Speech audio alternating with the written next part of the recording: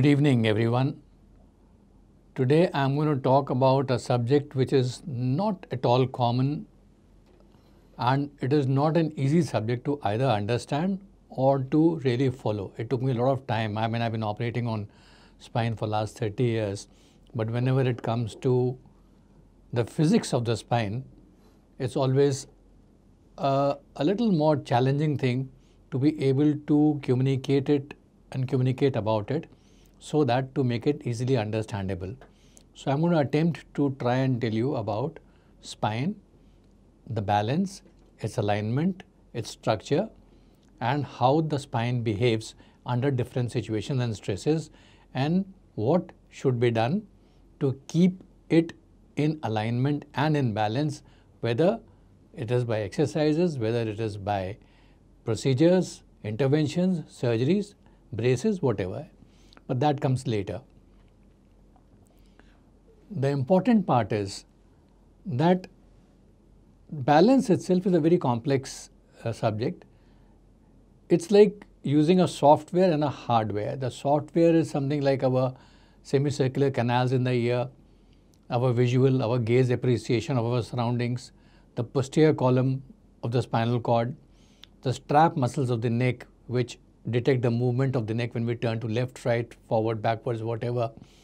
And when all these are integrated in the brain, we get a sense of position and then the signals are sent out to the hardware. The hardware comprising dominantly of the spine and the muscles in the area of the spine and the appendages to some extent which then try to maintain a balance in a particular environment. And as the environment or our relationship to the environment keeps changing, these impulses are servo, servo service, uh, servo, uh, servo mechanisms by which readjustments, realignments continue to happen and our postures keep on changing to maintain a balance and we do not fall.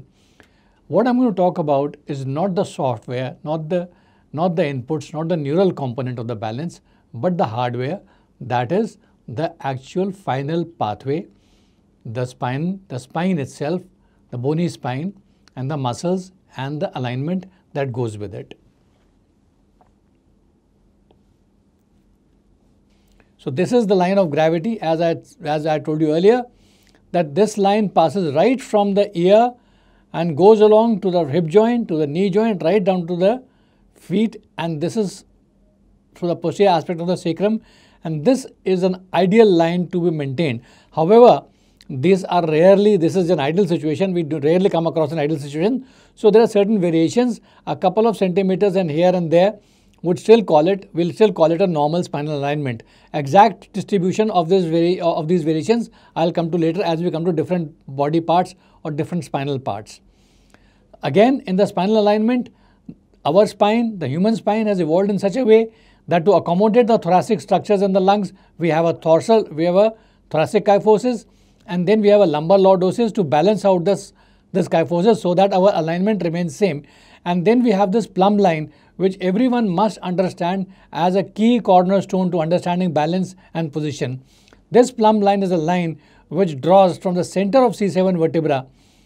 If you drop a perpendicular straight down to the floor or the gravity as the gravity takes it, you will find that it should ideally be passing through the posterior lip of the sacrum. However, most often it passes slightly anterior to it or sometimes posterior to it, but anterior is more common and a distance of 2 centimeters or so above or anterior to this is again a balanced, well balanced spine and that is our endeavor when we try to correct the balance. Our endeavor remains to maintain this within this particular alignment. And then what is posture? Posture is again the stereotypical alignment of body limb segment. That is all body limb segments whether it is our loose limbs which are hanging loose or while we are standing erect our spine whether it is standing or walking or running or we are sitting or lying or lifting the alignment of our body and different limbs is what constitutes posture and our postural correction and the postural uh, uh, what we say is what we dynamic explanation or or telling the patient or anybody to maintain a proper posture in all uh, physical states whether you're lying down or whether you're standing or you're lifting the posture has to be proper so as not to load the spine or the system to an extent where it causes a pathology or a damage. And what is stability? Stability can be mechanical or neurological stability. Mechanical stability is something which we see as far as the physical part of the spine is concerned. That is, it can maintain alignment under physiological loads without significant onset of pain or deformity. That is mechanical stability. And neurological stability is, is almost similar, except that under anticipated loads, there should be no neurological symptoms of either pain or dysfunction as far as neurological part is concerned. So both the spinal stability has to look into the mechanical aspects and the neurological aspects and both have to remain stable.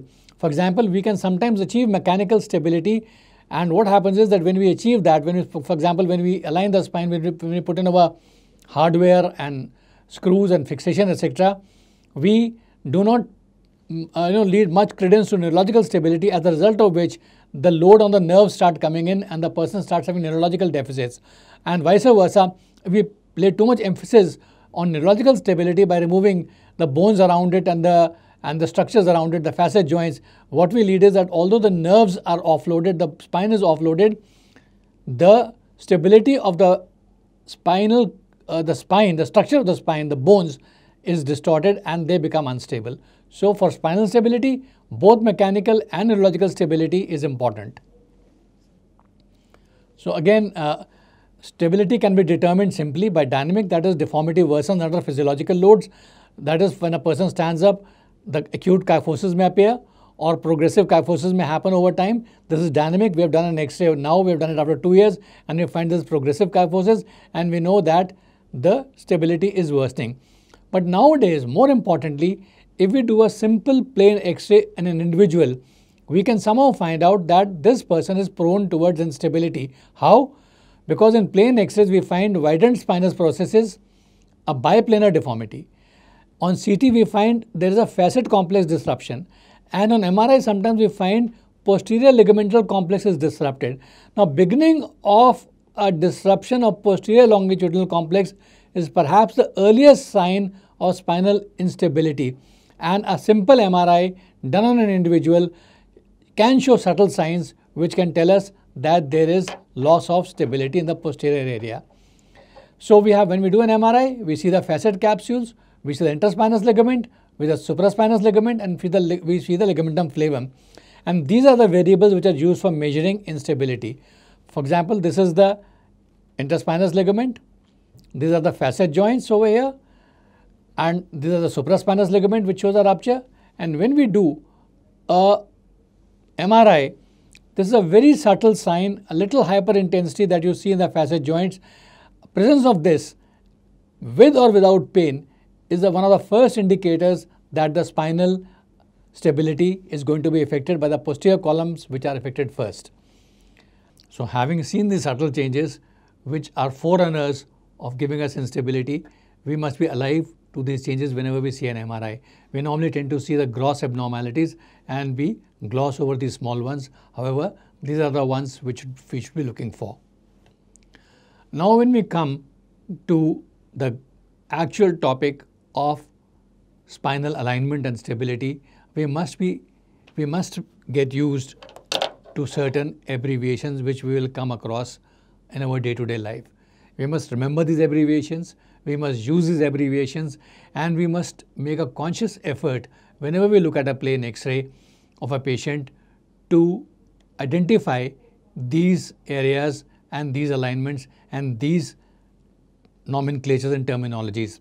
Once we do it as a routine and once it comes to our mind straight away whenever we see an x-ray, and of course, that will also tell us whether the X-ray has been taken properly or not, whether the PA view is perfect, or whether the lateral views are perfect, or dynamic views are perfect.